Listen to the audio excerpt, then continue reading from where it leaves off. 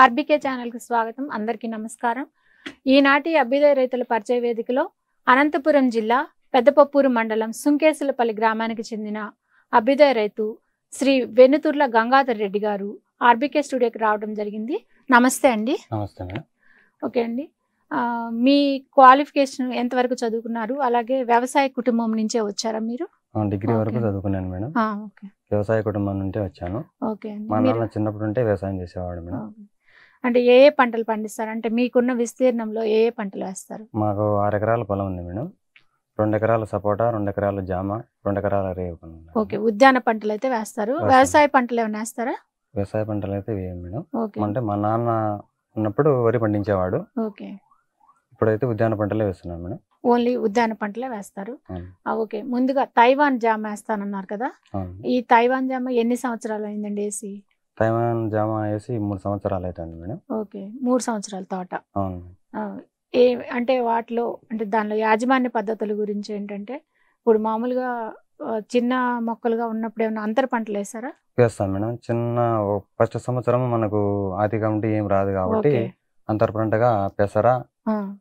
ఇంకేం అలసంద? వేసేవాళ్ళం మేడం. పెసర అలసంద వేసారా అంటే పెసర అలసంద వేసి దున్నేటివినా? లేకపోతే దాని నుంచి ఏమన్నా దిగుబడి తీసుకున్నారా?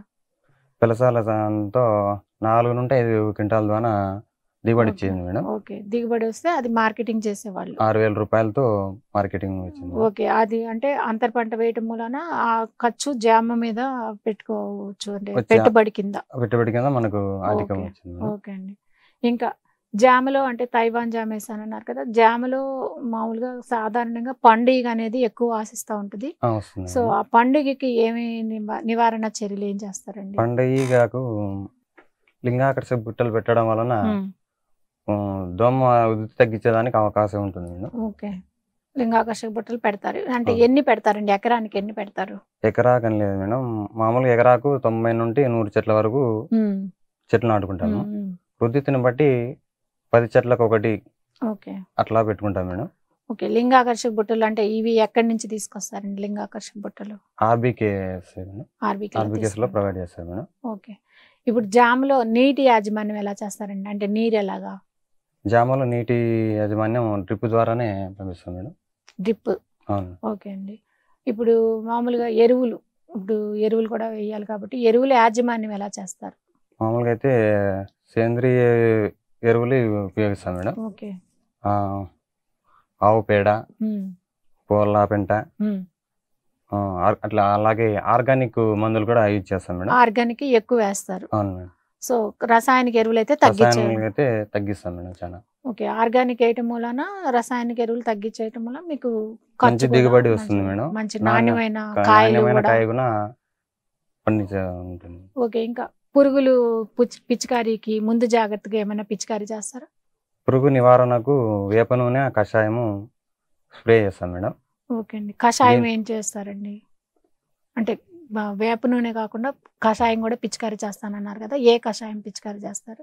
అంటే కొనుక్కొస్తారా లేకపోతే మీరేమన్నా తయారు చేసుకునేస్తారా? మేమే తయారు చేసుకుంటాం మేడం. ఓకే. పిచ్చి వేప నూనె అయితే కొనుక్కొస్తారు. కొనుక్కొస్తాము. కషాయం అయితే కషాయం తయారు మేమే తయారు చేసుకొని స్ప్రే చేస్తాం మేడం. ఓకే. అంటే ఎక్కువ ఉధృతుంటే కనుక రసాయన మందులు. వృద్ధి ఉంటే రసాయన ఎరువులు మాట ఉపయోగిస్తాము. రసాయన మందులు. మందులు. ఓకే అండి. తక్కువ ఉంటే సేంద్రియ మందులు ఉపయోగిస్తాం ఓకే. ఇప్పుడు జామకి అంటే ఎకరానికి ఎంత ఖర్చు అవుతుందండి సుమారుగా? జామకు ఇరవై నుండి ముప్పై వేల రూపాయల వరకు ఖర్చు అవుతుంది మేడం. ఓకే. ట్రాన్స్పోర్ట్ కూలీలు మొత్తం. మొత్తం కాయలు కోయటం కాయలు పెట్టడం అంతా. ఓకే. ఓకే. ఈ ఖర్చులు పాను ఆదాయం ఎంత వస్తుందండి మామూలుగా? సంవత్సరానికి నికర ఆదాయం?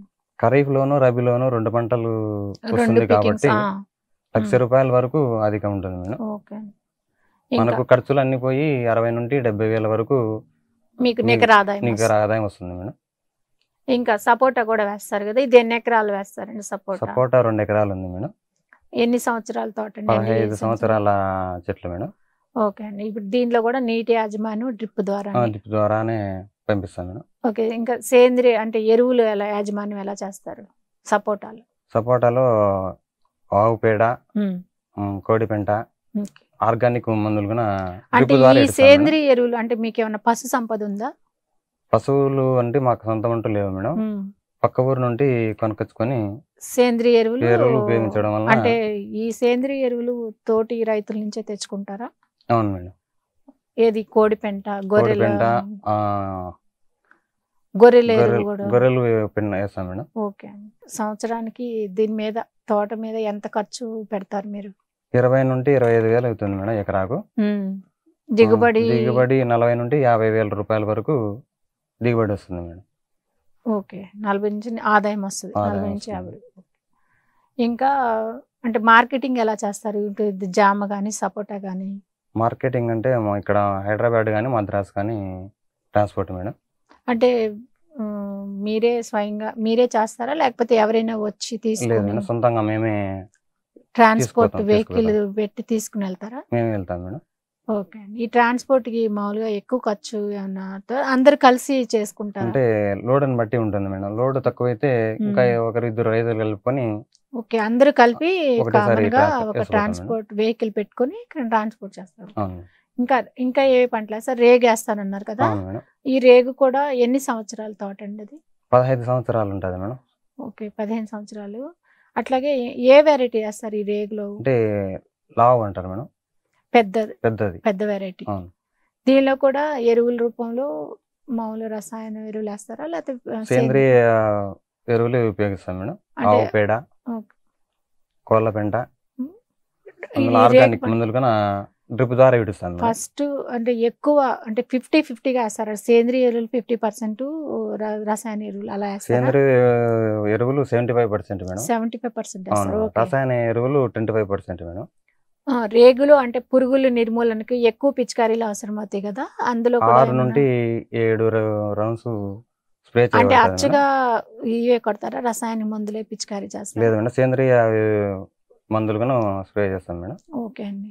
ఇప్పుడు ఇంకా అంటే ఉద్ధృతి ఎక్కువగా ఉంటే రసాయనిక ఎరువులు రసాయనిక మందులు పిచికారీ చేస్తాం మేం ఓకే అండి. ఉధృతి ఎక్కువ ఉంటే రసాయన మందులు లేకపోతే ఈ వేప నూనె ఈ కషాయం స్ప్రే చేస్తాం మేడం. స్ప్రే చేసుకుంటారు.